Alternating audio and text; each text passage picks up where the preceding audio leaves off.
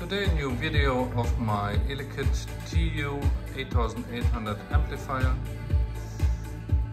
It now got a place uh, on a nice stone uh, plate and I'm playing the amp with my Tannoys, the small Tannoys, the DMT-10 and uh, tube amp is having sufficient power to drive these speakers easily.